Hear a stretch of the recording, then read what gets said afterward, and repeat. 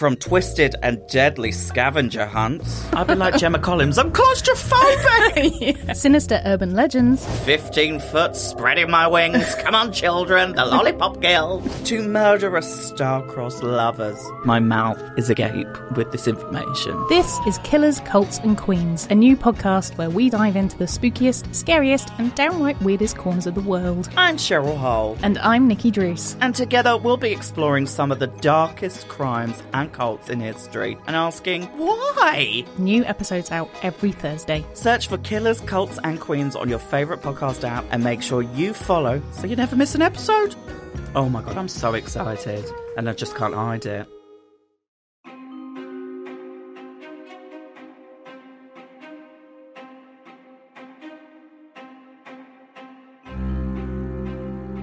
I'm Suruthi. I'm Hannah. And welcome to Red Handed. Be aware, kids at home, that the listener's choice for the British Podcast Awards is looming. It will be coming very soon. They're not going to give us an award, so it's real people power time. We were first year we were top 20, last year we were top 10.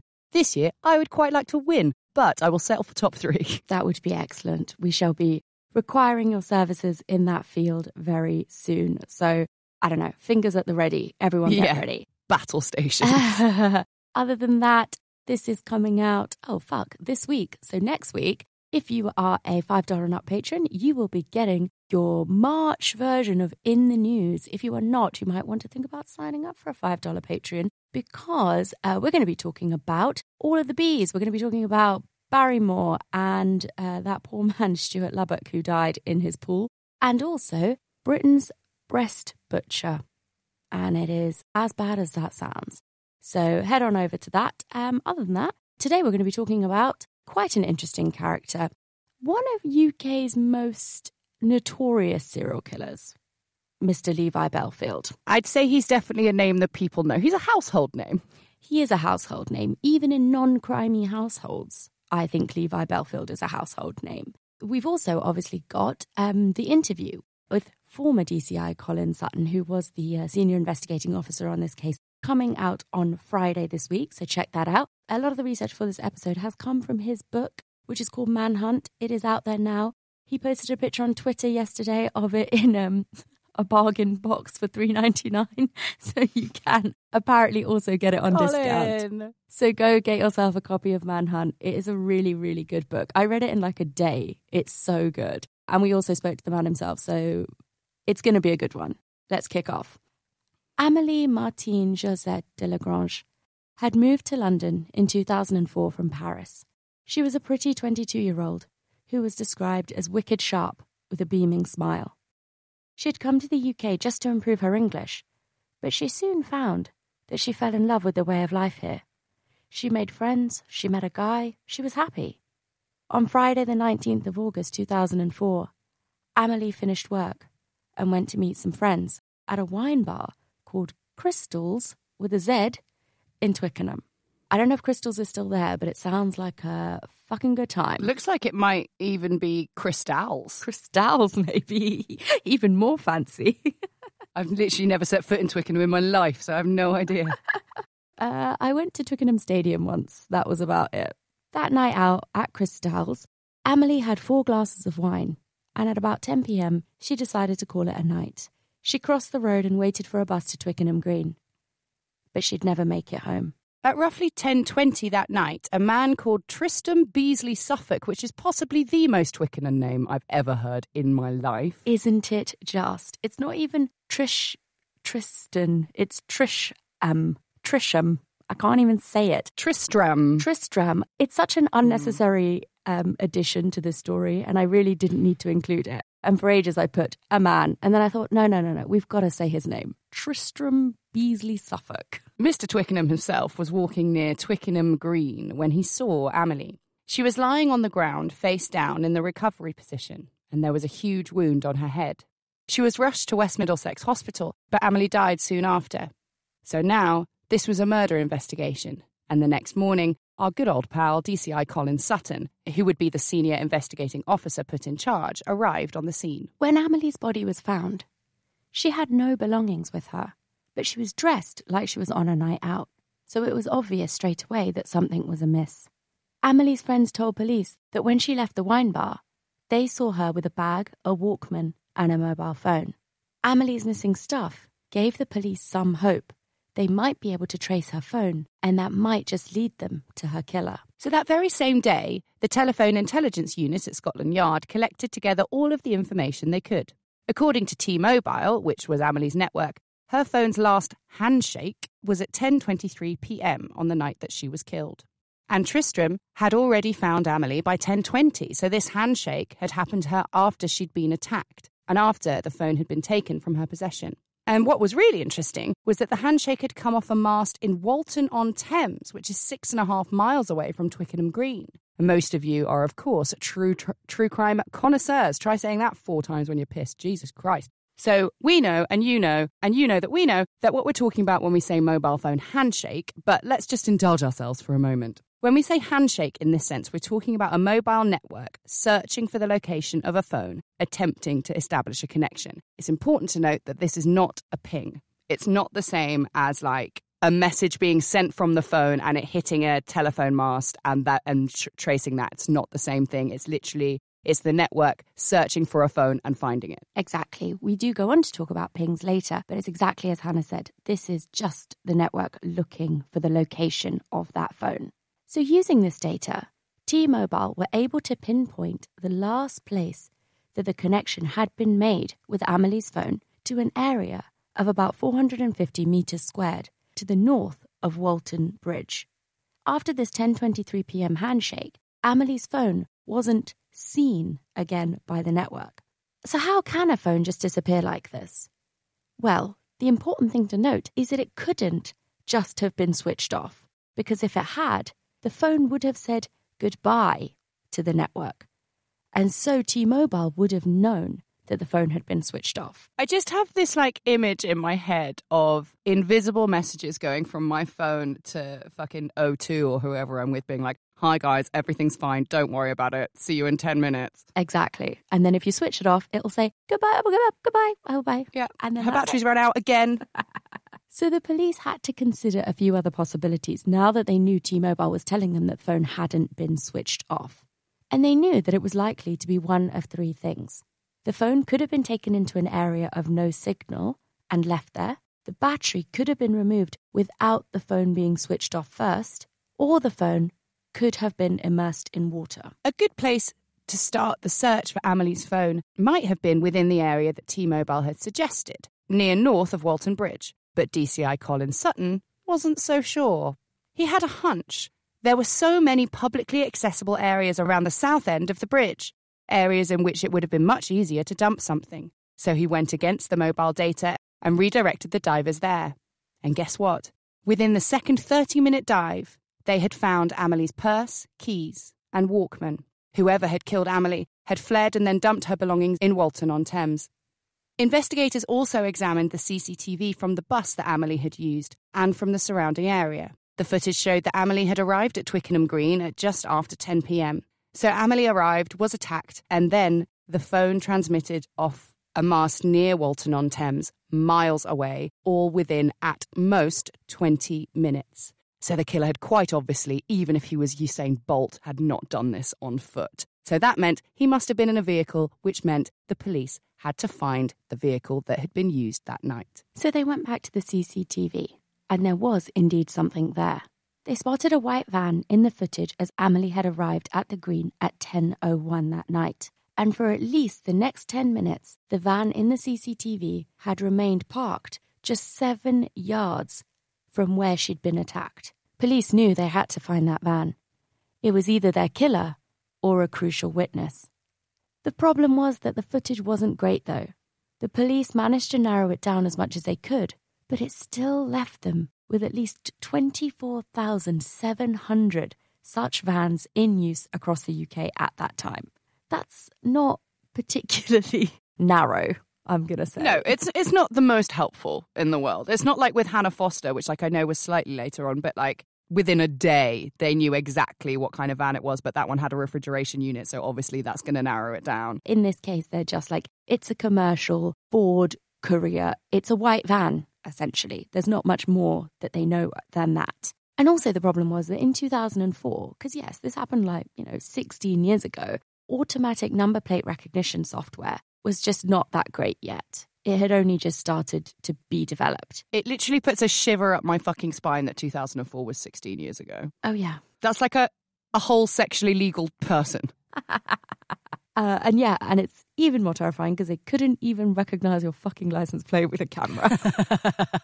so get this they had to do it manually. When I read this, I was like, what does that even mean? What does the word manually even mean? I don't even know anymore. We live in the world of automation. But this is what it means it meant that investigators had to literally go and stand on the side of roads in the freezing cold and take down license plates of passing white vans. What the fresh fuck is that? like, You know that that's like an officer who's in trouble for something. Oh, yeah. And they're like, right, off you go, off the side on the A4 for you, Jim. exactly, get out. And this is not me like um, making fun of them. I'm in awe of their diligence and their like work ethic. I think what's important to state is throughout this case, we see some phenomenal policing and we also see some fucking terrible policing. So prepare yourselves. And the police soon realized that if they were to have any chance at all of finding this van, of the almost 25,000 that were out there, they were going to have to look at each of them individually. And if this didn't work, they could be fucked because it was their only real lead in the Amelie case. By week five of freezing their asses off on the side of motorways and the rest of the investigation, things were moving quite slowly and everyone was getting pretty desperate for a breakthrough. And on the 21st of September 2004, they made a connection. So in May 2004, so months earlier, another young woman, 19 year old Kate Sheedy, had been attacked. And the police hadn't originally connected the two cases, as in Kate and Amelie, but detectives considered her age, the location, and the time of the attack, and all of those things seemed to fit. It was just the method of attack that didn't.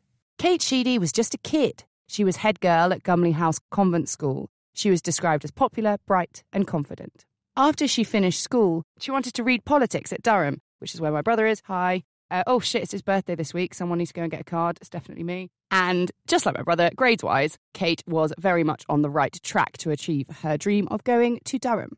On the 27th of May 2004, it was the last day of school for Kate before exams started. She did her bit as head girl uh, with thank you speeches and all of the stuff you have to do. At my school, if the head boy and the head girl got married, the school had to pay for the wedding and bought them a house. Wow. Wow. And the way they got round that was making sure they were the most incompatible people. so, like, one of them would be like super sporty jock, and the other one would be like hyper nerd. And they would just like swap it round every year. Why didn't they just get rid of that promise instead of this weird convoluted way? I fucking, I have no idea, man. They're really funny because it's a really old school. They're really Yeah. funny about the rules. No. So, like, the head boy was allowed to smoke a pipe round school and keep a goat on the quad.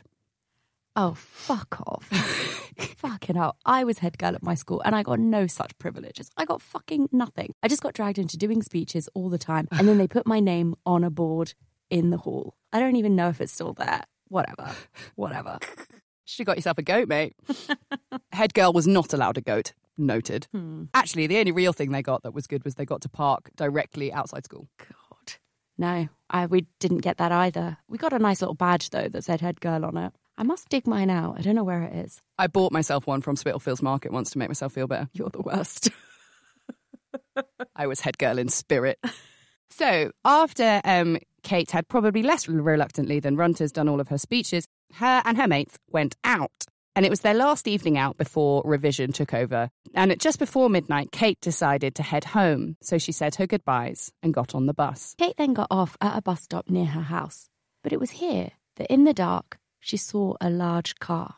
The engine was on, but the lights were off. There was something wrong. Kate got a sinister feeling from this vehicle. And I honestly hate that idea of just a car parked there with the engine running, but all of its lights switched off. Like this person has just sat in the fucking dark in their car.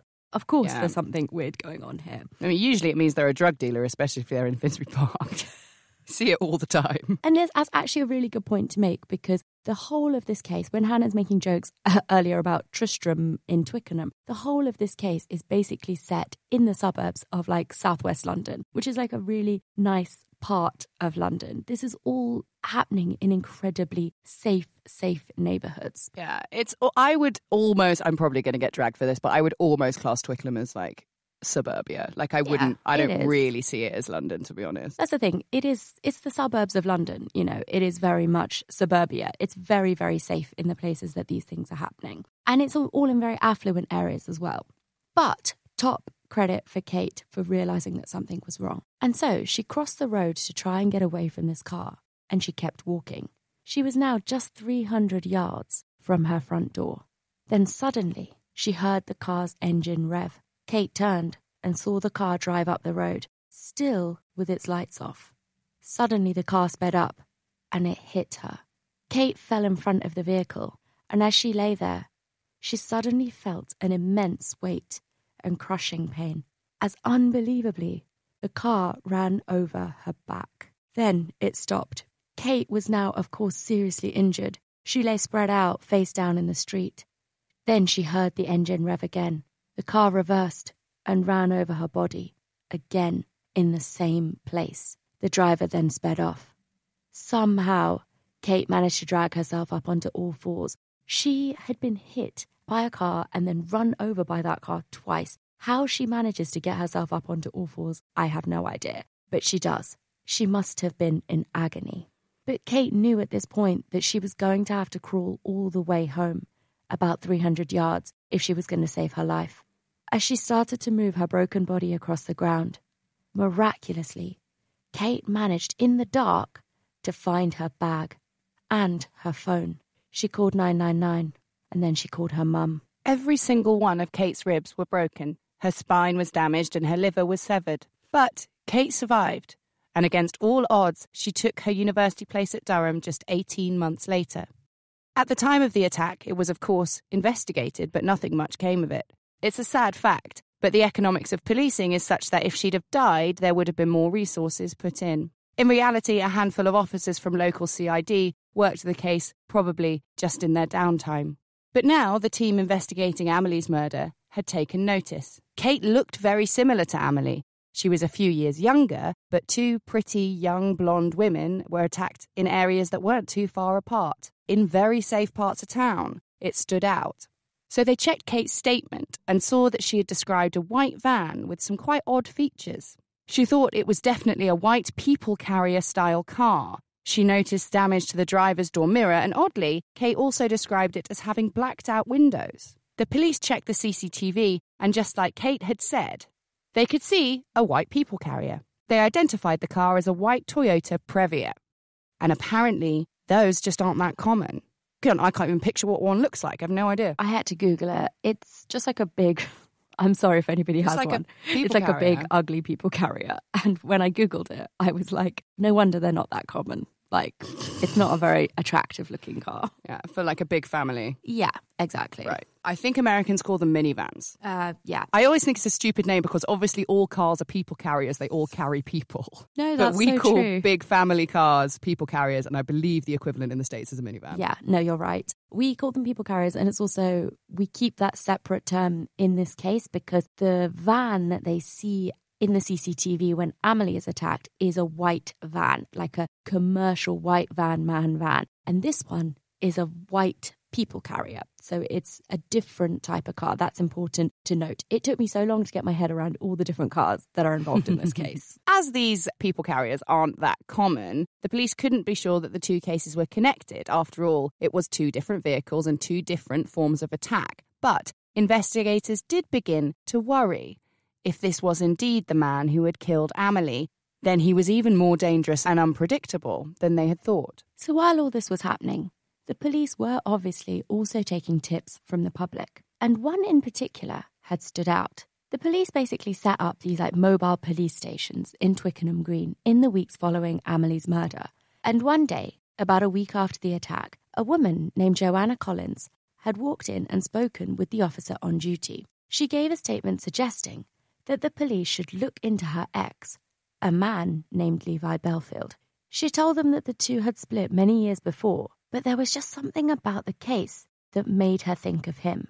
Bellfield and Joanna had lived together, and according to her, one day she had found a black bin liner in her garage. Inside was her dad's old donkey jacket, a balaclava, a kitchen knife, and a magazine. Define donkey jacket. Is it a small jacket for a donkey? I was wondering this, so I did Google it, and apparently it's a very British thing. So, good question, even for our British listeners, because I clearly neither of us even knew what it was. It's like a, a blue woolly, like a blue woolen jacket, is the best that I could kind of understand Okay. of I'm it. really disappointed that it wasn't an outfit for a donkey. I mean, by the looks of it, you could put it on top of a donkey. but then by that definition, you could put anything on top of a donkey. I don't know. it's just like a big coat, basically. So Okay, got it. I'm sure somebody is going to tweet at us and tell us in better detail what a donkey jo- jacket is, but that's the best that I could be bothered to do. And it was top fold first page Google. So there you go. I had more important things to research. So, this magazine that Joanna found inside this black bin liner with the said donkey jacket was a copy of Cosmo. And she opened it up, and bizarrely, all of the pictures of blonde women in the magazine had been stabbed repeatedly until their faces had been destroyed and the pages were totally torn up. Basically, she had been like, Is this you? to Levi Bellfield when she'd found it. And he was like, Yeah. And he told her, I fucking hate blonde women. They're bitches. He had a real rage. And so I think Joanna basically goes and tells the police because, as we go on to see, she knows exactly what kind of man Levi Bellfield is. And also because Amelie had looked so much like the kind of woman that she knew Levi Bellfield hated. Joanna's fucking genius, man. She's fucking smart. She's incredibly brave too. They all are. You're going to have so much respect for these women by the end of this episode. I completely did. These tips were obviously being explored, but something made the officer who had taken Joanna's statement ask investigators if anything had come of the name that she'd given. Simply by chance, given that this officer had asked, investigators started with Levi Bellfield. They checked him out and pulled up a record an inch thick in printed A4. His life had been littered with incidences of violence, drugs, firearms, and just generally illegal activity. He had few actual convictions, but had certainly been in lots of trouble. And then, so as they're delving through this inch thick A4 dossier of crime, something caught the investigators' attention. The police had been following up on local leads of white Ford courier vans, and one had been registered to a garage. Thanks for putting garage in my bit. Was that self preservation? I already said it once. She found the donkey Did jacket you? in the garage, Fuck. and I said it so Oh, well. I, missed slid it. Under done. the radar. Sorry. so, the garage that this uh, white Ford courier van was registered to said that they had sold the van to, uh, and this is a quote, I'm not using this word, to a gypsy. Not a chill word to be using these days, really. Traveller is preferred. And this person was named Levi. And there was even more. In 2004, a month before Kate Sheedy had been attacked, Levi Bellfield had been arrested in a Toyota Previa. It was white with blacked out windows. An alarm bell started going off for investigators. They could now link Bellfield to both of the vehicles seen on CCTV at the time of the attacks on Amelie and on Kate. And when they dug deeper, it turned out that he had since sold the Previa. So they tracked down the man who had bought it. And this guy turned out to be a friend of Bellfield's. Obviously, the police seized the car and went over it with a fine tooth comb. But the Ford courier van was still missing. So they put a tail on Bellfield. Omar Bellfield was under surveillance. DCI Colin Sutton continued to study the intelligence report on him when something else stood out. It was an address. In 2002, Levi Bellfield had been living at 24 Collingwood Place in Walton on Thames. Colin Sutton checked a map. This address was a cul de sac opposite Walton Railway Station. This is an infamous spot here in the UK because it's where 13 year old Milly Dowler went missing in 2002. On the 4th of March that year, Milly was on her way home from school. It was just a bit after 4 pm. She waved her friends off and was last seen at a bus stop near Walton on Thames train station. That day, almost all of her walk had been caught by CCTV. But there was one point, one moment, during which two cameras pointed in opposite directions, and Milly was in a CCTV blind spot. She disappeared within those 20 yards. It's fair to say that the Milly Dowler case completely took over headlines in this country. It was every parent's worst nightmare, and it seemed unbelievable. How could this smart young girl, who everyone said would never go off with a stranger, have simply vanished on her way home? In broad daylight, again from a safe neighborhood. And I can't stress enough like, if you're British, you already know this, but if you're not, I don't know how wide reaching internationally this, this story was, but the Milly Dowler case is up there with like Madeleine McCann. It is, it's huge. It's huge in this country. For sure. Like, I'm not even convinced I. I, I definitely knew Milly Dowler's name. I don't think I knew Levi Bellfield's until like a couple of years ago. But Milly Dowler's name I've always known. You're so right. It's one of those incredibly rare cases where the victim's name is more famous or infamous than the killer's name. Because you're right. I guarantee every single person in this country over a certain age knows Milly Dowler's name, but not everybody knows Levi Bellfield. So after she went missing, there was obviously a huge investigation into her disappearance. But Milly's remains were sadly found six months later, on the 18th of September, about 24 miles away from where she'd gone missing, in Yateley Heath Woods in Hampshire. So in 2004, when Colin Sutton and his team are investigating Amelie and Kate Sheedy, her murder was still unsolved. But it had already become one of the most infamous murders in British history at this time. So investigators were shocked. They now seemingly had a link between a violent man whom they suspected of murdering young women and Milly Dowler. So Colin Sutton put in a call to Surrey Police. He gave them all of the information that he had, but he couldn't really do any more. And what we need to remember as we move forward with the story is that Surrey PD dealt with the investigation into Milly's case, which was called Operation Ruby. Colin Sutton and the Met team were looking into Amelie and Kate Sheedy. This was a totally separate investigation. They couldn't just go and take over the Milly case without more evidence. And I think we don't suffer the same thing as like crossing state lines in the United States. It's not quite that dramatic, but it is still difficult to take over an investigation. I'm sure like smaller police departments probably get quite pissed off with the Met just like swooping in and taking things over. I think that's exactly it. There's not, it doesn't seem to be as much jurisdictional debate. It's more that, A, does Surrey want to give up the Milly Dowler investigation? If they feel like they've got a strong lead or they feel like they're making headway with it, they wouldn't just give it over without enough evidence. And also on the flip side, the Met don't want to be taking on investigations that are potentially going to add more work to the load they've already got, especially if it's not connected, especially if it's not going to actually help them move forward in their investigation. So basically, like everyone's got to be sure on all sides that exactly. it's worth doing. No one wants to be taking on extra work or shirking work if it's not going to lead to the desired outcome. So Sutton and the Met team were sure that Bellfield was their man. They wanted to arrest him, but they weren't really sure on what charge. They needed something more. And just then, something else happened. A man in Strawberry Hill, which is a very affluent area of London, came forward after Amelie's murder to say that his nanny had been attacked on the 3rd of November 2002. After the attack, she'd returned home to Peru, but he was confident that she would recognise the culprit. Investigators checked it out, and they found a hospital record of a lady named Sonia Salvatierra coming in with a head injury. Sonia agreed to come to the UK to try and help identify her attacker. So, once again, we have another woman who suffered from a head injury from a stranger attacking her in the street in West London. So, they're, they're sort of sensible to look at connecting this with Kate and Amelie, although she looks very different to these two other women.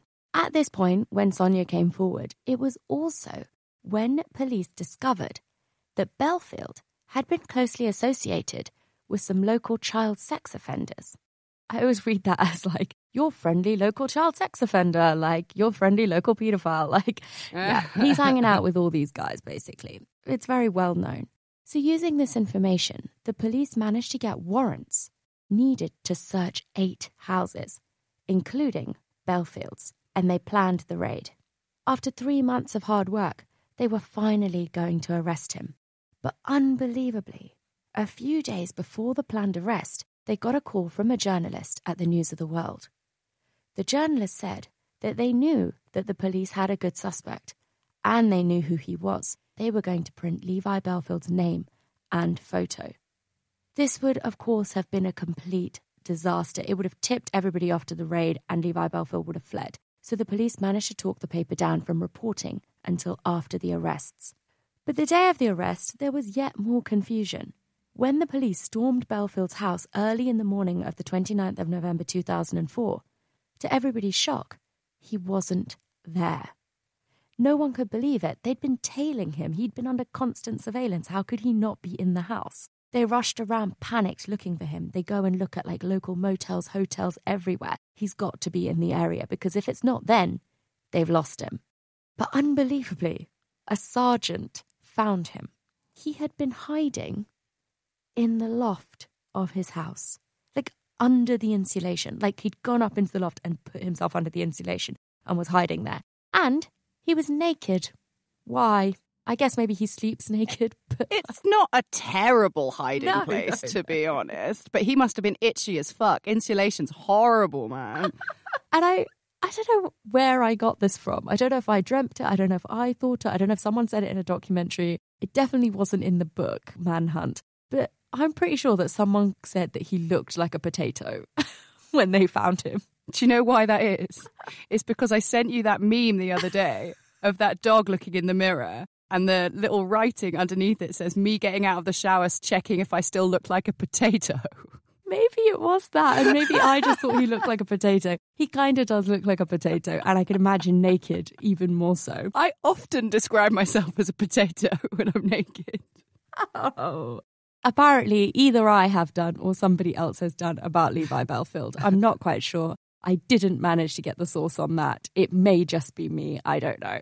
So that's the image. That's the mental image we all need to conjure up in our minds is a naked Levi Bellfield hiding in the loft. That poor sergeant must have had the fucking shock of his life. I know he went up there to look, but you don't expect him to actually be there. No. So obviously they nicked him. Potato Man Bellfield is physically a very thick person. Uh, and I'm not saying that like the youth of today use it. I mean, like, he's just giant man. He's like a Girthy. Oh, okay, I've- Girthy is what I think. yeah, he's a, he's a girthy fella. Uh, Just so like And not in a sexy way. hench is Just- probably a good word. Not in a sexy way. It's kind of like fucking thick ass traps that just mean that his shoulders are basically coming out of his ears. Like he's got like thickest neck in the world. And uh, possibly even scarier than that, he's got really dark and totally blank eyes, no twinkles in there at all. Investigators were surprised when they heard him speak, though, because he spoke in an oddly high pitched voice. And that's because Bellfield absolutely loved the steroids, could not get enough. Yeah, because some people say, like, I was listening to a crime and investigations podcast on this case. You should definitely go check it out. Their whole piece isn't like a rundown of the case. They've just interviewed a forensic psychologist to talk about, you know, what motivated uh, Bellfield, what drove him. And in that, the doctor, Dr. Boone, I can't remember his first name, said that he thought that Bellfield was putting on the voice to sort of make himself seem innocent, make himself seem sort of like unimposing because he's obviously such a physically big man. But then this man completely thrives on power, as we go on to see. So I don't really think he's putting it on. I think it's because of the steroids. Mm, because apparently, when you're on steroids, testosterone is converted into estrogen inside the body. So men who take steroids wind up with high pitched voices, and women who take steroids end up with deeper voices. And I'm afraid it gets even a little bit more graphic than that. Men on steroids will quite often get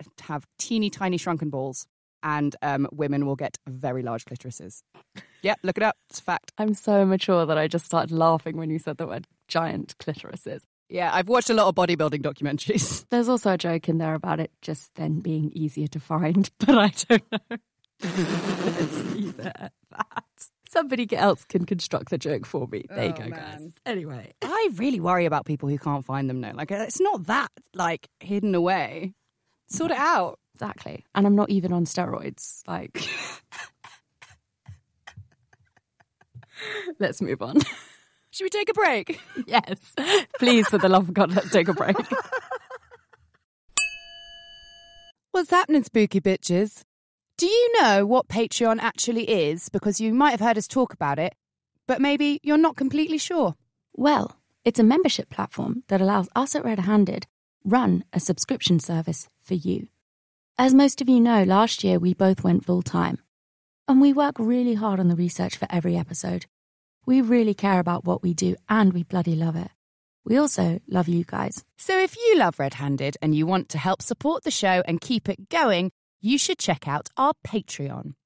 If everyone listening right now pledged just $2 each a month, oh, that's 50 cents or 40p an episode, it would be completely life changing. And don't worry, there's a lot more to our Patreon. than simply getting the warm fuzzies, having helped your girls out.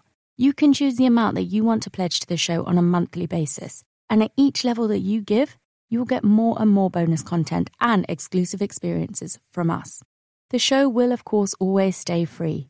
So if you want a whole load of extra content like full length bonus episodes, weekly after show parties, access to live streams and video content, then consider pledging even just a couple of dollars a month and help us stay full time on Red Handed. But the extra financial support just means that we'll have the time, capacity, and space to create more exciting stuff for all of you beautiful people. So head on over to patreon.com forward slash red handed right now, this second, for more information. The link is in the episode description, where it will always be forever. From twisted and deadly scavenger hunts, I've been like Gemma Collins. I'm claustrophobic. Sinister urban legends, 15 foot spreading my wings. Come on, children. The Lollipop Guild. To murderous star-crossed lovers. My mouth is agape with this information. This is Killers, Cults, and Queens, a new podcast where we dive into the spookiest, scariest, and downright weirdest corners of the world. I'm Cheryl Hole. And I'm Nikki Druce. And together we'll be exploring some of the darkest crimes and cults in history and asking why. New episodes out every Thursday. Search for Killers, Cults, and Queens on your favourite podcast app and make sure you follow so you never miss an episode. Oh my god, I'm so excited and I just can't hide it.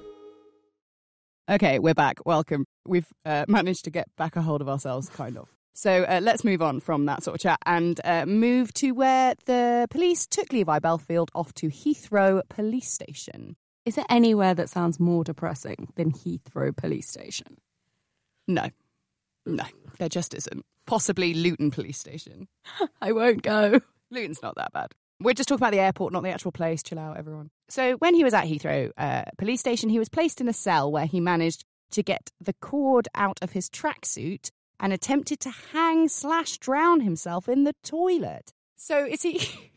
I'm, I shouldn't laugh. Suicide attempts aren't funny. Has he tied his feet to the ceiling and is trying to drown his head in the toilet bowl? To be totally honest, I read this bit in the book and I was like, just very confused by the mechanics of it. It does seem like he tried to garrot himself, but his head is also in the toilet simultaneously. But I don't know exactly. I think it's kind of a half-assed attempt. I don't think he really meant it. Possibly, I don't know. Mm, okay. He was saved by officers and he was fine. And then they began the interviews. But Levi just no commented his way through everything. Bellfield also had a weird tick, and you can see it in all his police interviews. He tosses his head from side to side and blinks quite a lot. It was tough for the police at this point because they finally had him, but he wouldn't admit to anything. And they didn't have anything concrete enough to charge him with. Sonia, the Peruvian nanny, had not been able to give a positive ID, so they needed something, anything, to keep Levi in the police station. And surprisingly, they didn't need to wait long before it came. Emma Mills, Levi Bellfield's partner, had come into the police station, but she hadn't come in to support him or demand that he be released. Quite the opposite. She was there to tell the police all about the kind of man that Levi Bellfield truly was. So Emma Mills is at the time currently in a relationship with Levi Bellfield and had been for like eight years. Like they've been together for a long time on and off. They've got three kids together. But I think she saw this as an opportunity to get out of this relationship once and for all. So Emma goes in and speaks to police and detailed horrific abuse. She talked about rape, emotional torture, physical beatings, and more. She told police how Bellfield had once raped her in the very spot under Walton Bridge where Amelie's belongings had been found. She told them how Bellfield would lock her out in the garden naked, how she wasn't allowed to call her family and friends, and how she was absolutely terrified of him. Emma also stated that his previous partners had faced the same abuse and that they should track them down too. And this is exactly what the police did. They realised that if they could convince more women, more exes of Levi's, to testify as to his abusive nature, they could charge him with assault, and then bail would be out of the question. That way, they could continue on with the murder investigations and keep questioning him. Police went back to Joanna Collins and also found another ex who was called Rebecca Wilkinson. Both women recounted the sexual abuse, psychological control, and physical violence that they suffered at Bellfield's hands. They all shared a very similar experience with Bellfield. After the initial period of love bombing, where he'd be loving and kind and thoughtful, He'd move in with the women, and then it all changed. They had to obey him totally. Otherwise, there would be hell to pay. And hell was beatings, rape, being locked out and forced to sit on a stool perfectly still for eight hours at a time, and even being forced to have sex with his friends. While all of these brave women came forward and testified against a man they were clearly terrified of, Emma Mills really does become pivotal. And at this point, she told the police something interesting. She said that in March 2002, she had been in West Drayton house sitting for a friend, but she'd been living in a flat in Collingwood Place, Walton on Thames. At this point, her and Levi were separated, but they had kids together. He was trying to get back with her, and I don't think he was the kind of guy that Emma felt like she could say no to. So they got back together and started things up again. On the 21st of March 2002, Emma was watching the news and saw the headlines that Milly Dowler had gone missing that day. And she remembers this clearly. She's able to talk about these things with very sort of specific detail, vivid memory, because remember, she is a mother at this time. She lives in Walton on Thames. Of course, she remembers the date. Of course, she remembers watching the case unfold with Milly Dowler. I don't doubt any of her sort of story in terms of how strongly she recollects these things. And she says that Bellfield had been staying with her at that house that she'd been looking after in West Drayton. But that that morning, so the day that Milly Dowler goes missing, he had gotten up and left early. And that day, she hadn't received from him the usual barrage of crazy texts and all the sort of phone calls checking in on her, all of that stuff that he normally did. In fact, she actually tried calling him at one point, but unusually his phone was switched off. And Levi Bellfield had taken Emma's car. This is another car we're going to add into the mix. Everybody, I hope you're paying attention. We're now talking about a red Daewoo. And so he'd taken this car and he'd also taken the keys to her flat at Collingwood Place, which remember is in Walton on Thames. After being MIA all day, Bellfield finally came home at 11 pm with some fried chicken and four cans of lager. Emma noticed that he changed his clothes since the morning. He was now wearing a tracksuit that she knew was in the wardrobe at Collingwood Place. So she can tell he's obviously been to the flat. And he had the keys, so obviously he could have. Emma wanted to know where Bellfield had been all day, but she also knew to leave it alone. So they ate the chicken, they drank the beer, and they went to bed at about midnight. But Bellfield was restless, and by 3:30 a.m., he was heading out again. And this time he took the dog. The next day, with her house sitting duties done and dusted, Emma went home to Collingwood Place. When she got in, she noticed something odd. All the bedding had been removed from their bed. Levi Bellfield was not a domesticated man. He never helped around the house, and he certainly didn't do any laundry. When Emma asked him what was going on, he told her that the dog had made a mess on the bed, so he'd taken the sheets off. Emma didn't believe him. The dog was well trained, and she thought that even if that had been the case, that he would have just left it for her to sort out anyway. She assumed that he'd had another woman over and just tried to put it out of her mind. After that day, Bellfield started to act even more strangely. He suddenly told Emma that he didn't want to live there anymore and they were going to have to move. A few days later, Emma noticed that her car, at the red Daewoo, was missing. Bellfield told her that he had gone for a drink and left it at a pub in Hounslow. He went looking for the car, but it was never found. Again, it wasn't really something that Emma could cause much of a fuss about. And he even takes Emma to the police station and makes her give a report that the car's gone missing, even though he was the one who lost it. But uh, that will become important later, so hold on to it. Now, before we move on, let's look at who this man Levi Bellfield is. He was born in 1968 in Isleworth in West London. His dad died when he was quite young, and he was raised by his incredibly overbearing mum. He went to the local comprehensive, and he was described by everybody who knew him as a weakling. He was tiny and sickly, so his mum suffocated him. Not literally, I mean like with her presence. And he apparently slept in her bed with her until he was 16. Nope. No. They should add that shit onto the McDonald triad and make it the McDonald square. Like, there's no way that sleeping with your mum till you're 16 is going to do anything good for you. No, it's really not. Everybody agrees that they had a very, very uncomfortably close, overbearing, intense relationship. The stuff about him sleeping in her bed until he was 16, like, we don't know if that's true, but it is not, it seems highly probable given the fact that everybody talks about it all the time. And Joanna Collins, his ex, who you remember is the one that went in and originally reported him, says that even in his 30s, when her and he were together in a relationship, whenever Bellfield went home to visit his mum, he'd still sleep in the same bed with her. Oh, don't like it. No, I don't like it at all. Okay, perfect in every way. No. Everyone loves them.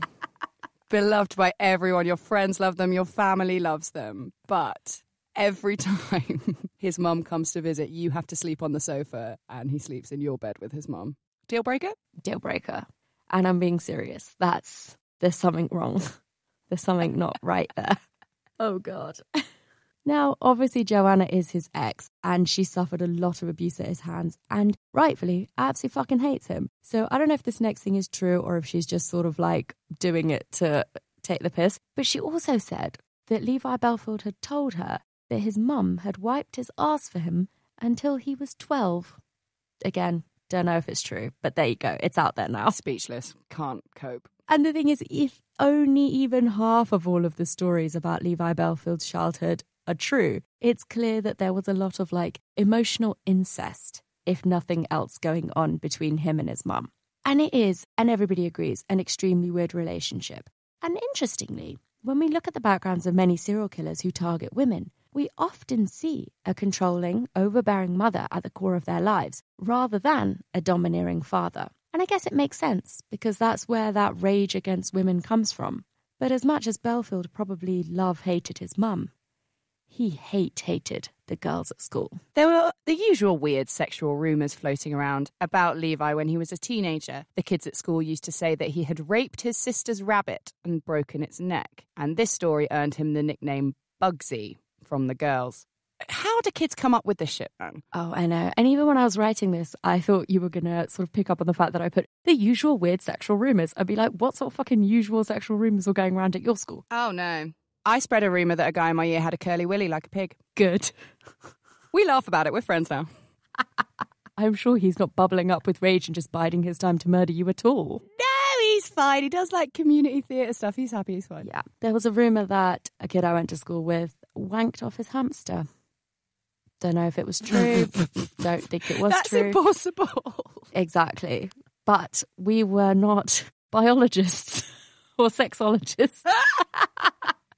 And there was a lot, yeah, there was a lot. There was a lot of mean shit. One of them was like, oh, his parents are fucking first cousins. And I don't even think they were. It was just because he was a bit, I don't know. A guy in my year definitely did ra- marry his cou- cousin. Oh, yeah. For real. Oh, some people, some people are into it. Don't do it. Has everybody watched the BBC documentary? Was it BBC? Maybe it was Channel 4. I don't know. It's on YouTube called When Cousins Marry. Fuck No. me. Oh my god, I'll send it to you. It's really, really traumatic. I watched it and I was I think I watched it when we were doing the GSA episode and uh yeah, Mm. it really fucking upset me. We're not here to force our views down your throat on whether you should marry your cousin or not. Do what you like. There was a couple on tattoo fixes the other day that were like, uh, he had like some awful like naked woman tattoo on her on uh, his arm, and his wife wanted it removed, and they were like, oh yeah, and by the way, we're first cousins, and they were like, is that legal? Like how? It's the... and it was a classic GSA thing where they'd been together as kids and then were separated and found each other much later on Facebook. So it was like the classic GSA. Oh dear. I don't know. I don't I don't know And what to is say. legal in this country to marry a first cousin. Is? it? Is, it? Is it? not- Is it? Yeah, Is it Yeah, first cousins. Yeah, Oh. yeah, first Oh, cousins. It's Good to know. There you go, guys. I mean, it's not fine. It's legal. It's legal. Lots of things are legal that sh- shouldn't be. Oh god. So, um, all of this bullying and uh, rabbit rumors made Levi Bellfield's hatred of women incredibly intense, and the types of women that he would choose to kill later on tell us quite a lot. He was deeply insecure, and these women represented everything he felt he couldn't have. These attractive, intelligent, middle class, blonde women. They looked down on him, and he wasn't good enough.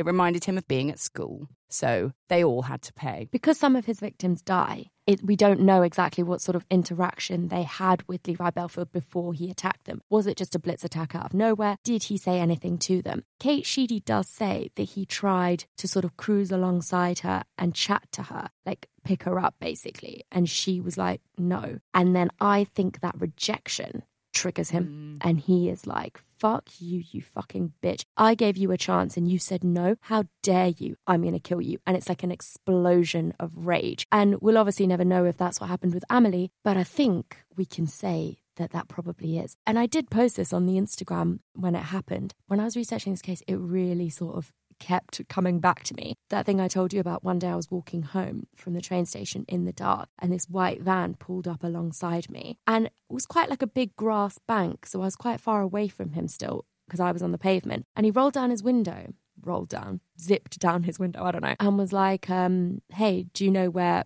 blah blah is? Like an address. And I just said, down there. I don't know why I responded to him, but I also was like, it happened so quickly. And I just pointed and said, it's that way. And then I just kept walking. And I was the only person on the street. I was feeling a bit like, Ugh. and I walked down, turned into my road. And my road is like one of the oldest roads in our town. So it's got no pavement because it's like an old horse and carriage lane. Also, very difficult to do a three point turn on. Very, very interested. difficult to do that. and um, also very difficult to not be side by side with a man in a white van who then continues to try speak to you because there's now no sort of grassy verge between me and him. So he turns into my road and continues to follow me. And then obviously I can't walk faster than a van. So he pulls up next to me again and goes, "Do you want a lift?" And I was like Mm. and I was so shocked. I went, I laughed, not like out. I just went like, no. And then I just kept walking. But like, he could have just fucking run me over after that.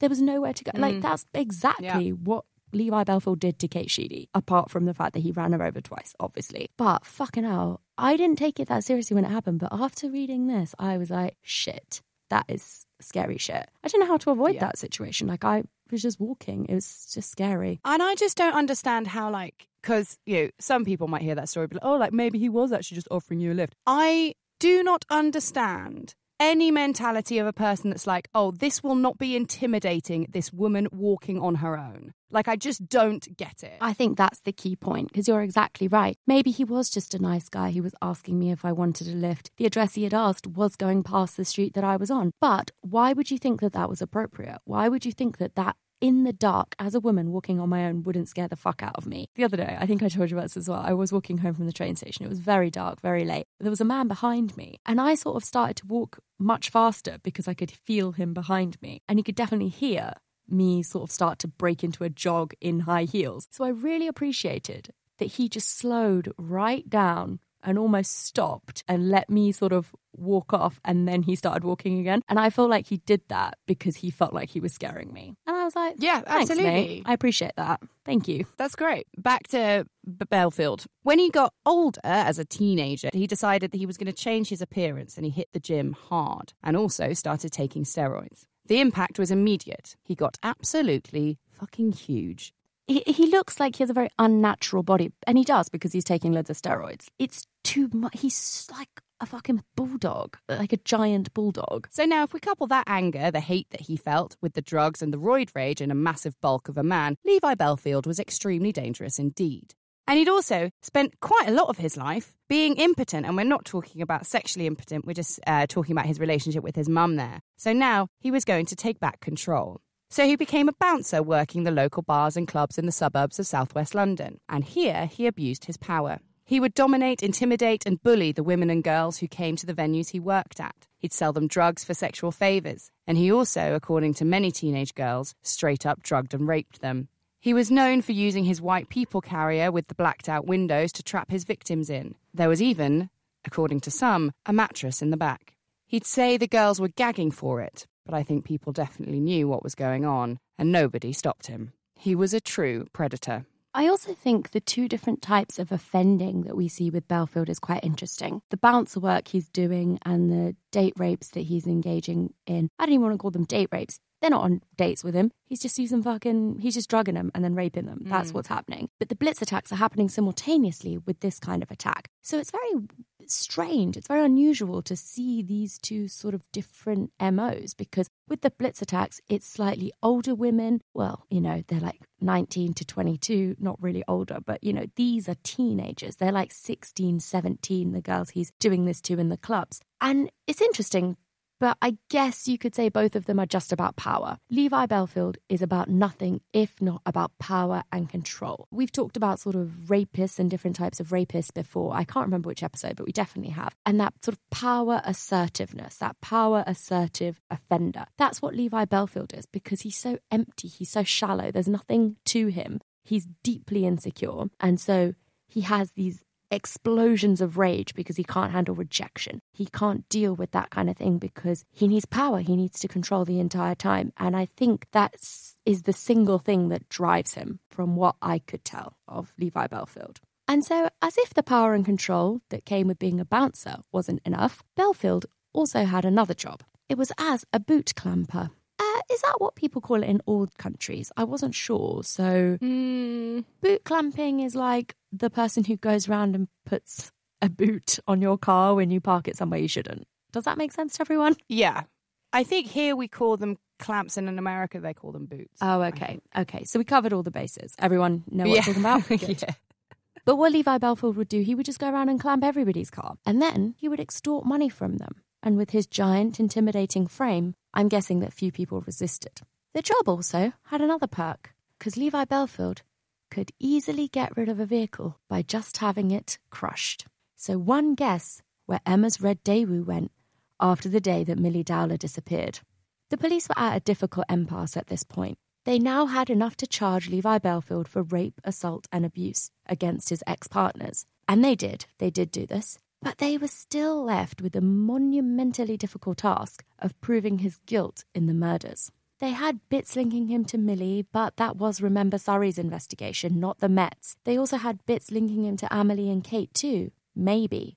They needed something else, and they needed it quickly. So they looked into other earlier cases, pre Amelie and Kate, who were both attacked in 2004. If it had been Levi Bellfield, then it was not unreasonable to think that he would have attacked others before. And bingo. Marsha McDonnell was a 19 year old student and she'd been murdered in February 2003, just three months after Sonia, the Peruvian nanny, had been attacked, and just five months after Milly's body had been found. Marsha, just like Amelie and Kate, was pretty, intelligent, young, and blonde. She lived with her parents in Hampton, southwest London, and on the night of Tuesday, the 4th of February, she'd gone to the cinema with her friends and was on her way home on the bus. Marsha got off at Kingston bus station, and a few minutes after midnight, she decided to walk the 10 minutes home. As she walked, suddenly out of nowhere, Marsha was attacked, hit from behind. She was so close to her house by this point that her neighbour had actually heard the attack.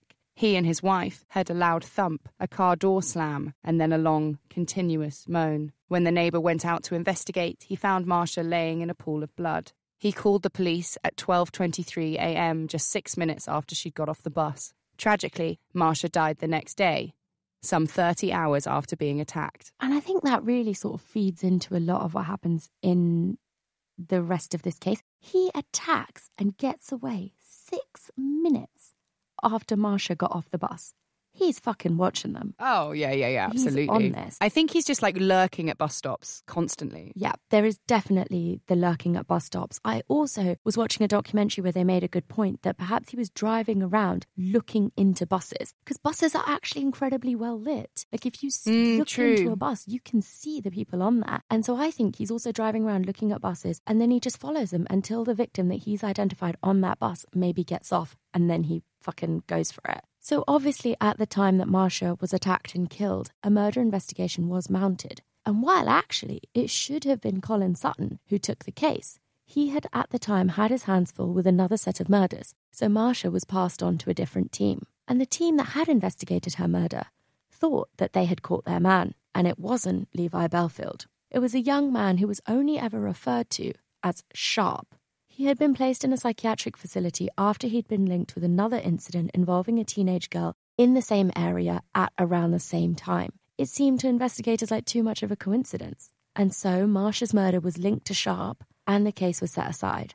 But to Colin Sutton, it seemed like Marsha's murder was a much better fit with the Bellfield case. So the Met team checked the CCTV from that night. At 12:17 a.m., they saw Marsha get off the bus, and they also saw a silver car that seemed to be following her. It looked like a silver Vauxhall Corsa. The driver tailed Marsha as she walked out of view of CCTV. It was all the investigators had. And yes, yet again, it was a different car. The behavior of the driver was so similar, and the nature of Marsha's murder was so similar. They felt strongly that she too was a victim of Bellfield, and so this investigation was reopened. The problem was now that the police had identified multiple vehicles linked to the attacks, but finding them wasn't easy. So far, they only had the Previa. They needed the white van, the Ford Courier, so they went on BBC Crime Watch. Their plan was to give people who might know something, but who might be scared of Bellfield, the confidence to come forward. And it worked. A friend of Emma's came forward and told the police that she knew Bellfield had a white van and she knew that he had tried to fix the defects it had and that he had even tried to sell it after the attack on Amelie. But the van still didn't turn up. Police became fairly confident that Bellfield had probably crushed it into a tiny cube. So they tried to focus their efforts on the silver Vauxhall Corsa from Marsha's murder. Bellfield was known to own such a car at the time, but it had since gone missing, so that wasn't enough. From the CCTV and the partial plate, they were able to discover that in the UK there were only about 600 cars that this car could have been. That's better than the almost 25,000 different types of white van that it could have been in the first case. So this looks more promising. But they were still going to have to contact each owner and rule them out if they were to say that this silver Vauxhall had been Bellfield's. The police realised as they sort of figured out that a lot of these cars may end up being crushed, etc., that forensic evidence was looking less and less likely. They knew that they were probably going to have to build all of the circumstantial evidence that they could if they stood a chance of even getting to trial, let alone of putting Levi Bellfield away. And they also realised that it wasn't going to be enough to just prove that Bellfield had owned these cars or even just had access to them. The police had to prove that he was the one who had actually been driving them on the nights of the attacks. So they decided to use his phone to try and prove where he'd been. So now they needed the phone in his hands in the van, given that they have no forensics. So as they started this line of inquiry, they discovered that someone had called Bellfield's mobile at 9:37 p.m. on the 19th of August 2004. That's the day Amelie was murdered, and it was just 20 minutes before her attack. And when they looked at the CCTV, at this time they could see the suspicious Ford Courier van in CCTV around the Twickenham Green area. So basically, what they're saying is they need to now prove with his phone data that he was in Twickenham Green because they can show that the van was in Twickenham Green using the CCTV. And so, when they realised that this phone call had come through at 9:37 p.m., it was perfect. Bellfield had actually cut the call and switched his phone off after, but it was too late. The call had already been logged, and so had the location. And guess what? It, of course, had pinged in Twickenham Green. With this information, the police went back to Emma. And once again, she didn't disappoint. Emma remembered seeing the news about the attack on Amelie. The night before had been quite a memorable day for her. It had been the first time she'd left the house after giving birth to her third child. Bellfield was meant to come home at 7:30 to take her to Tesco, but he hadn't. 7:30 in the evening, that is. Emma needed nappies, so she called a cab and left at 8 p.m. Bellfield had come home while she was out and called her asking, Why aren't you at home? She told him where she was, so he went to meet her. He took the other two kids off Emma so she could shop and drove them to Toys R Us. After a bit, he called her again, saying to wait at the supermarket and he'd come back to get her. She paid and went out, and there he was, waiting in his white Ford courier van. Levi took Emma home and she unloaded the shopping while he sat in the driver's seat and took a call on his mobile. Then he drove off. Emma said that that was at about 9:10 p.m. 30 minutes later, she had gone to make herself a cup of tea and realized that she'd forgotten milk. She called Bellfield, but the call was cut off. This was the 937 call that pinged near Twickenham Green. Police confirmed the calls and found the Tesco bill. And they were also able to back up the two calls that Bellfield had made to Emma that night. The one at 8:22 p.m. hitting a mast in Hayes this was obviously the call that Bellfield had put into Emma to check where she was when he'd got home and realised she wasn't there. Then there was another call, hitting a mast near Little Bentley at 9.08 pm. And this is when he'd made the call sat in the front seat of the courier van as Emma unloaded the groceries because he's such a fucking hero, letting his fucking newly birthed, not, she's not been newly birthed, you know what I mean? Having no, newly but she birthed. probably been the happiest state of her life, having just given ch- like birth to a kid. Yeah, and then he's like, "You're right. Here you go. Unpack it. I've got some calls to make." Physically, I mean, birth is a miracle. Well, babies are amazing. good. What I really hate is now every time I open Netflix the last couple of days, it plays that babies fucking trailer at the top. I'm like, go away. The what? Oh, on mine. Mine's just giving me fucking Bear Gwyneth Paltrow, and I'm like, you can advertise that to me every single day of my life, and I will still not watch it. Netflix. I just am so baffled by that. I'm like, who is this for? Is it for like a fucking middle aged suburban women? Like, are they the ones watching it? I don't know. I'm confused by the whole thing. So, anyway, back to this. The police basically are now able to sort of timeline Bellfield's movements on the night that Amelie was murdered. This is the key thing. And they're able fucking pinpoint him at the same time that van is seen on CCTV at Twickenham Green as being in Twickenham Green because his phone pinged there. So the police had all of this, but they had to continue their hunt to eliminate all of the other silver Vauxhall Corsa owners because the CPS had told them, what you've got isn't enough. We'll give it to you once you've eliminated all of the silver Vauxhalls and proven that it could only therefore then have been Bellfield's. And finally, on the 25th of May 2006, all 600 silver Vauxhall Corsa owners were cleared, and the CPS gave the green light to take Bellfield to trial for the murders of Amelie, Marsha, and the attempted murder of Kate. The CPS also okayed the inclusion of two other attacks on two other women, Irma Dragoshi and Anna Maria Rennie. Anna Maria had been sat at a bus stop in October 2001 at 11:30 p.m. A car stopped to offer her a lift, and she said no. The man in the car proceeded to then get out of the vehicle and tried to force her into the car, but thankfully, she managed to escape. Bellfield was known at the time to own a car matching the one that Anna Marie had described, and he also matched the description of her attacker. Irma Dragoshi was sat at a bus stop again in West London on the 16th of December 2003. At 7:15 p.m., she called her husband. The next thing she remembered was waking up in hospital the following day. Officers and paramedics who attended the scene said that she was on the verge of collapse and hysterical. She told them that someone had tried to grab her phone but hit her over the head.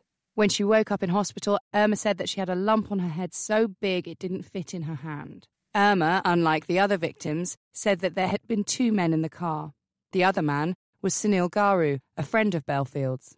Garu spoke to police and told them that Bellfield had just randomly stopped the car, jumped out, hit the woman at the bus stop, and then got back in the car and drove off laughing. And if you're wondering why Bellfield might have thought that it was fine to do this bizarre attack in front of his mate Sunil Garu, well, we'll come back to this. So for now, put your pointiest pin in it. So after all the police's months and months of hard work, a date was finally set for trial. But you may have noticed that Milly's name was obvious in its absence from the indictment. So, what was going on with that investigation? Well, six months after Colin Sutton had suggested Bellfield as a suspect, Surrey police hadn't really moved forward in any way. So, Colin Sutton passed on what Emma had told him about the day that Milly had gone missing, about the Red Daewoo, about the flat at Collingwood Place, and about the stripped bedding. And guess what? When Surrey police checked CCTV, there was a red Daewoo coming out of the area at about 20 minutes after Milly vanished. But it wasn't enough. They needed to find Bellfield on another bit of CCTV from the same day. But there'd been a fuck up and they only had about 20 minutes of footage from the area, either side of Milly vanishing. So the footage they'd had found was completely useless. So there was no way at that point that Milly could be included in the indictment of Levi Bellfield. Firstly, Surrey police still thought that it wasn't Bellfield, and secondly, the case was too weak. If they had added Milly's case into the mix, it could have scuppered everything. The Met had tried to keep Surrey in the loop by making all of the interviews they had available to them and all that sort of stuff, but Surrey weren't being too open about their own investigation. And at the time, no one could see why. That wouldn't come out until 2011 and uh, you need another pin. Sorry, yeah, two pins for today. Stick another one in that one. The Met had enough on their hands, to be honest, without adding Milly into the mix. Because even as it stood, with just Marsha, Amelie, and Kate, there was no guarantee. Some of the evidence in some of the cases was stronger than others. The prosecution was hoping that by putting all of the attacks and murders on the same indictment, they could argue cross admissibility. And this is a situation in which evidence on one count against an accused is capable of being used as part of the proof on another count. The counts in such cases will usually be joined. So, by putting everything on the same indictment and arguing cross admissibility, they're basically saying if we agree that the same man committed all of these crimes, then the jury can consider the strongest evidence when considering the weakest.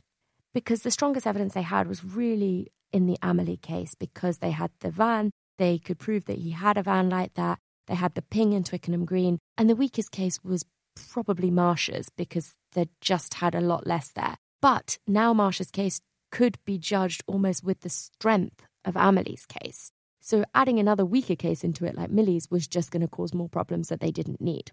And so the trial began on the 2nd of October 2007. Many of Bellfield's acquaintances testified as to his dangerous and unpredictable demeanour and his mental breaks around the time of Amelie's death.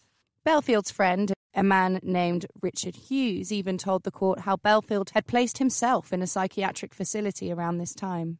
Sunil Garu told the court about how he had witnessed Bellfield's attack on Irma Dragoshi. Another man known to Bellfield, called Clint Stevens, told the court about how he had witnessed the attack on Anna Marie Rennie. But Bellfield denied everything. Emma took the stand too. She told the court about all the years of abuse she'd suffered at Bellfield's hands. The defence simply tried to discredit every witness. They argued prejudicial evidence and even argued that because Levi's ex Emma had only agreed to testify if she could do it from behind a screen, that would prejudice the jury as well. The judge denied all of these arguments from the prosecution. When Bellfield himself took the stand, he oozed false empathy, saying things like, quote, I'm a father. It was hard enough watching Kate testify. I couldn't ever do that to someone. And the thing you've got to realise about Bellfield, he is not stupid. He got away with everything he had done for years. He knew what to say in court and how to act. He was a highly trained manipulator, but every now and again, when the judge and the jury weren't in the room, the mask would slip. The trial finally ended in February 2008, and no one was sure what would happen next. Like we said, there were no forensics, just masses of circumstantial evidence. The jury took two weeks to deliberate. In fact, they were taking so long that the judge actually had to intervene and agree that a majority verdict would be accepted if they couldn't come to a unanimous decision. And so when the jury finally returned, they started with the weakest case, that for Marsha. The jury had reached a majority verdict, 10 to 2, and found Levi Bellfield guilty of Marsha's murder. Then, on the attempted murder of Kate Sheedy, again, they had reached a majority verdict, 11 to 1, guilty. On the strongest case, which was Amelie's, they had reached a unanimous verdict guilty. Levi Bellfield was sentenced the very next day to life without parole for each of the three counts. Given the judge had recommended a whole of life sentence for Bellfield, the jury were told to stop deliberating on the charges for Anna Marie and Irma. So, what about Milly? In February 2008, more than six years after she was murdered, it was decided that Bellfield would be charged with Milly's murder. He would also be charged with the attempted abduction of another young girl the day before Milly vanished. And when we were talking about um, Surrey police being reluctant to engage earlier in the, ves- in the investigation, it was now starting to come out as to why. They had totally fucked up in two ways. So, this is when you're going to want to pull that first pin out as to why Surrey were being so cagey about their investigation. Firstly, and perhaps most famously, it was discovered that a PI working for the News of the World, which is which was a newspaper here in the UK, had hacked Milly's phone just days after her disappearance. This PI had listened to and deleted voicemails on Milly's phone. So when her mum had tried calling Milly again and again, at first she couldn't leave a message because it was saying the inbox was full. But days later, her mum saw that she could leave a voicemail. This, of course, gave the family and police false hope that Milly was still alive, somewhere, listening to and deleting voice messages. And maybe you're wondering, how was this a fuck up on the police's part? Well, that came after, because Surrey police seemingly did nothing to investigate this illegal phone hacking, even though it had disrupted a murder investigation.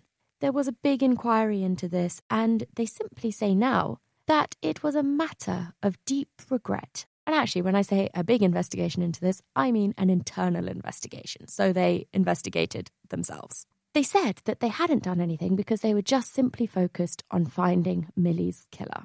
I kind of call BS on this because, yes, this internal investigation cleared everyone. It seems a bit dodgy to me. But if the police had managed to sidestep this issue, the News of the World certainly didn't. This scandal was too much for the paper to recover from. And after 168 years in print, in July 2011, one of Britain's biggest newspapers shut down. Next up in the fuck up police lottery is fuck up number two. And that's what Bellfield's second trial in May 2011 started with. It's a young woman called Rachel Cowles. Rachel had been just 11 when an incident occurred. She'd been walking home from school the very day before Milly Dowler vanished on the exact same road that Milly had vanished from when a man in a red car stopped and asked her how to get back to where they lived. Rachel was confused, but the man said that he was her new neighbour and he was lost. She could get in and help him, and then in return, he'd drop her off at her house. Rachel said no, and at that moment, a police car just happened to drive by. This clearly spooked the man, and he drove off. Rachel noted that the car had two baby seats in the back. She had gone home, told her parents. Her parents had called the police and reported the incident. The police just noted this incident down, and it was more or less forgotten. Even though the very next day, a young girl went missing from the same road and if they just read this account and watched the CCTV, they might have linked the red car. But the police didn't track this bit of information down for years. And when they did, Rachel identified Levi Bellfield as the man in the car. It's really fucking unbelievable. Like the same man in the same car tries to abduct a schoolgirl from the same exact road the day before Milly Dowler went missing. The red Daewoo on CCTV. And obviously, this wouldn't have saved Milly's life but it could have saved Amelie, Marsha, Kate. Not that Kate died, but you know what I mean, saved her the trauma of what she went through, and probably all of the other people that Levi Bellfield has ever abused or hurt or murdered in his life. And like, good for her at fucking 11 years old to not only go home and tell her parents, but remember specific things like two car seats she in the back. even remembered that one was pink and one was blue. They're Emma's kids' fucking car seats. It's her car. Like, she remembered all of this detail, and Emma was able to confirm it fucking Rachel, man, you're a hero. The second trial was obviously, yes, focused on Rachel, but it really was the Milly Dowler trial. And obviously, this was something that Milly's family had been waiting years for. By this point, it had almost been a decade since Milly had died. But I have to be honest, the way they were treated during this trial, I found frankly heartbreaking. The defense tore this poor family apart.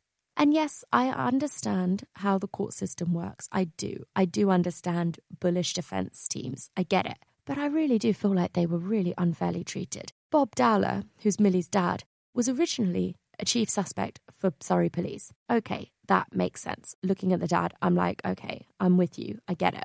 But it felt like Bob Dowler was forced to defend himself in the courtroom, like he was the one who was on trial and not Levi Bellfield. The defense really went to town on him. They suggested to Bob Dowler that perhaps Milly had found his box of pornography in the loft and that's why she'd run away. The box that they were referring to contained bondage magazines, a rubber hood, and a ball gag, according to The Independent. And the defense made Bob Dowler admit that if Milly had found these things, then she would likely have been disgusted and potentially could have run away. Bob Dowler broke down multiple times whilst giving evidence. And I'm just like, obviously, the defense is trying to create a narrative in which it's Bob Dowler, Surrey Police's original chief suspect. But fucking hell, he's not just got this pornography like lying around the living room, he's got it in the loft. And also, she didn't definitely find There's it. nothing. Like that that's such a weird, tenuous oh, you had this specific thing in your house hidden away. That's just not good enough. They're basically trying to say either you murdered her or, because look at you, you're a fucking sex maniac, or she ran away and she died, or whatever. Like, it's unbelievable. They humiliated this poor man who lost his daughter at this trial for Levi Bell. Oh, I don't know. It just really made my blood And boil. like fucking kinky people have kids too. Give them a Exactly. break. And God. like I said, he had it fucking hidden in the loft. He didn't just have it like on the dining room table, you know? just displayed on the mantelpiece. The defense also suggested that maybe Milly had run away because her mum and dad didn't love her enough. The police found brooding diary entries and letters in Milly's room. Milly had written a letter that um, it's quite possible she never even planned giving to her parents that she signed off your little disappointment, Amanda. And of course, that's sad, but she's 13, and I definitely wrote loads of shit like that when I was a teenager. And just to clarify, Amanda is her given name. Milly is like her nickname. Sally Dowler, Milly's mum, was accused of having neglected Milly, and perhaps because of that, Milly had taken herself off and killed herself in the woods. By that time, Milly's remains had been found six months after she had vanished, and they were just bones, so cause of death couldn't be identified. Sally Dowler collapsed in court. After all of this, however, all of the torment that they put the Dowlers through, they did get justice for Milly. Bellfield was found guilty of her murder and sentenced to another whole of life tariff. He is actually the only serial killer in the UK who has ever been sentenced to two whole of life sentences, which I thought was uh, quite interesting. Oh, good knowledge. That's a good fact. Thank you very much. and uh, and I think like he always knew he was going to get sent down, and even if he didn't, he was going to spend the rest of his life in prison anyway. That trial was just about making it as painful as possible for the Dowlers because he's a sadist and he's fucking power crazy. Now that he's in jail, he doesn't get many opportunities to do that kind of thing anymore. So he was going to ride this for all it was worth. But Levi Bellfield is now in prison, rightfully so. He is specifically in HMP Frankland, which is a maximum security prison. I also saw it described as the Monster Mansion, but I thought that was Wakefield. Maybe they just call all of them That that. definitely is Yeah. Wakefield. And during his time in prison, Bellfield has converted to Islam and now goes by the name Yusuf Rahim.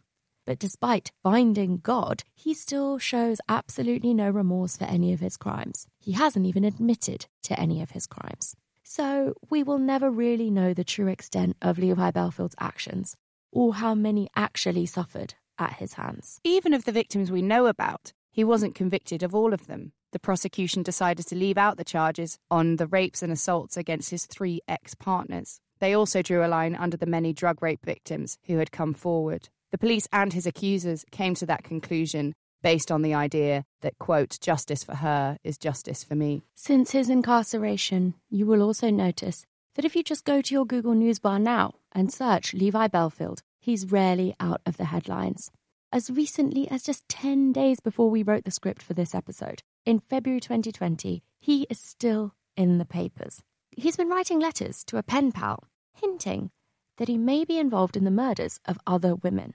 And I think it's highly likely that there are other victims. He was just going around fucking bashing people over the head with complete disregard. Like, of course, there are other victims. But I think it's incredibly unlikely anything will ever come of these stories. The only remaining investigation with which Bellfield is definitely linked, that's still ongoing, is one concerning his mate Sunil Garu, who witnessed the attack on Irma Dragoshi. He, so Sunil and his brother Suraj, and their mate Victor Kelly have all been connected with a child sex ring, and that allegedly included Levi Bellfield.